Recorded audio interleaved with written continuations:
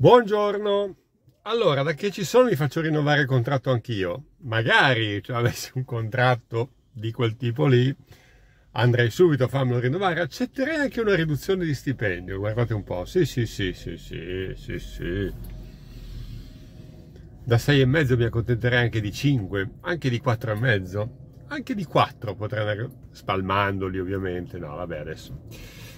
Questi sono i pensieri che stanno eh, al di là delle zanzare che si sono ormai rifugiate nella mia macchina, veramente sto facendo un centro accoglienza per zanzare eh, rincoglionite dal freddo.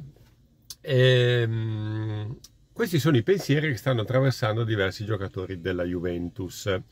Eh, pensieri che Gatti non ha minimamente avuto rinnovando fino al 2028, e, um, esprimendo tutta ovviamente la sua soddisfazione eh, felice come un bambino. Quattro anni fa questo ragazzo giocava nei dilettanti, eh? Cioè, quattro anni prima, scusate, di arrivare a dove giocava nei dilettanti. Non so se, se, mi spiego, insomma, la parabola di Gatti è una cosa incredibile, vuol dire che i sogni a volte si possono avverare, ok?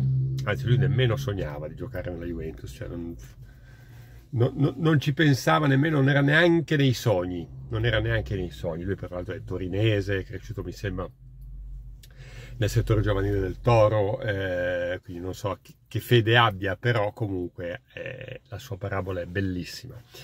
Però ci sono dei nodi da sciogliere, no? su Gatti che appunto li ha sciolti tutti e non avevo dubbi che lo facesse. Quello principale riguarda Federico Chiesa. Federico Chiesa perché? Perché giunto lì gli vuole proporre il rinnovo di contratto, l'avrete letto da qualche parte sicuramente, gli vuole proporre questo rinnovo di contratto che è in scadenza al 2025. Vuole proporglielo fino al 2000, almeno fino al 2026, almeno per un anno. Un contratto fino al 2026, ragazzi, vorrebbe dire che l'anno prossimo se ne parla di un'eventuale cessione, o meglio a giugno se ne parla di un'eventuale cessione.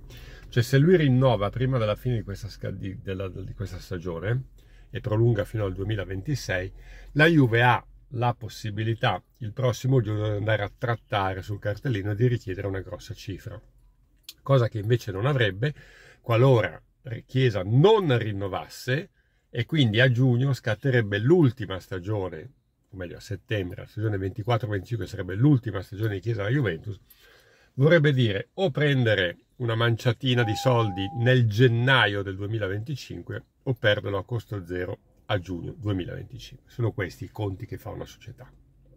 Ok? Eh, altrimenti gli avrebbe fatto una proposta più ampia, gli avrebbe proposto un rinnovo, un rinnovo di almeno altri due o tre anni.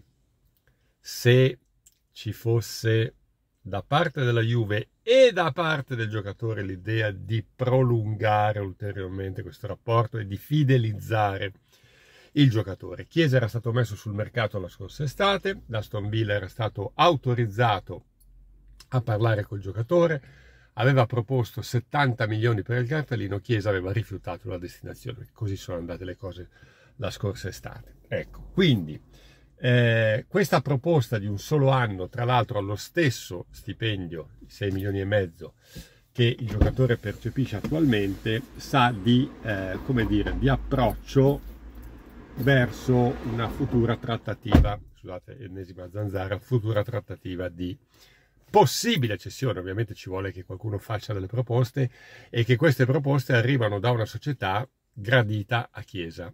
Ok? Ecco, questo è il punto da considerare in, questi, in queste situazioni. Ehm, Chiesa avrebbe già rifiutato la prima proposta, cioè quella di prolungare di un anno alla stessa cifra, cioè 6 milioni e mezzo, vuole andare su delle cifre più, ehm, più alte. A titolo per poterlo fare, secondo voi? A titolo per poter chiedere un aumento dell'ingaggio dopo un anno e mezzo passato a curarsi? E eh, sì, un ottimo avvio di stagione, sia pure con uh, le ultime due partite saltate, no, le, le terzultima e penultima partita saltate per ehm, problemi, insomma per fastidi, eccetera. Cioè vi chiedo a titolo Chiesa di chiedere addirittura un aumento dell'ingaggio.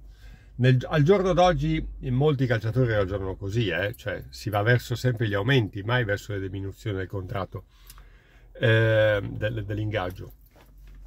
Datemi una risposta, io, io ce l'ho la mia. Secondo me no, non ha titolo per richiedere un aumento dell'ingaggio, potrebbe accontentarsi ancora di 6 milioni e mezzo netti per un anno, anche perché, ripeto, penso che di Chiesa si parlerà la prossima estate. Ecco. Eh, detto questo, eh, c'è anche la questione Scesni, lui è in scadenza al 2025, si va verso un prolungamento al 2026, questa perlomeno l'offerta eh, della Juventus con diminuzione, in questo caso con diminuzione dell'ingaggio. E poi c'è il nodo Vlaovic, voi sapete che dalla stagione 2024-25 scatterà un aumento che porterà, previsto dal, dal contratto siglato a suo tempo, eh, un aumento che, eh, che porterà l'ingaggio automaticamente a 10 milioni netti l'anno, che mi sembra una follia, posso dirlo, ma non per il giocatore, mi sembra una follia che al giorno d'oggi si possa ancora argomentare su o parlare di un contratto o firmare un contratto due anni fa siamo ancora al giorno d'oggi, no? praticamente in questa era, in questa epoca post-Covid, dove ci sono stati problemi al netto di quello che è successo alla Juve, comunque problemi per tutti, che si possa eh, far firmare un contratto, stipulare un contratto che prevede un aumento esponenziale che dai 7 milioni e mezzo porta poi praticamente a 10 e se non sbaglio addirittura a cifre ulteriori. La ritengo una follia.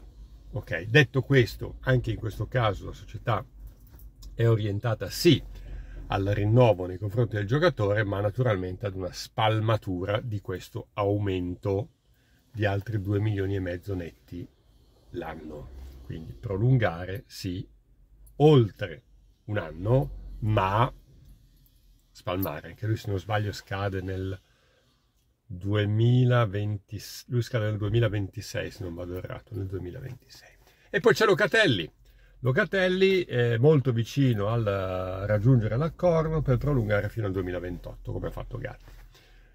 Per Locatelli non credo che ci siano problemi, in lui è fortissima la voglia di rimanere alla Juventus, è un giocatore uh, che deve crescere sicuramente in personalità, in parte la sta già dimostrando, finalmente gli ha preso di tirare da fuori perché lo faceva con il Sassuolo, con la Juventus praticamente non l'ha più fatto e finalmente l'ha fatto contro il Milan domenica scorsa, ma lo dico per lui perché rientra nel suo bagaglio tecnico il tiro da fuori area, nel Sassuolo aveva segnato diversi gol da fuori area e non ci saranno problemi perché lui è juventino fino al midollo, ve lo posso dire tranquillamente, ma non ne fa mistero nemmeno lui, quindi lui sì ha realizzato un sogno, il sogno della sua vita perché giocava già in Serie A, a differenza di Gatti che giocava nel Frosinone e giocava quattro anni prima nei dilettanti e nemmeno poteva sognare una cosa di questo genere. Il sogno Locatelli era giocare nella Juve, l'ha realizzato, adesso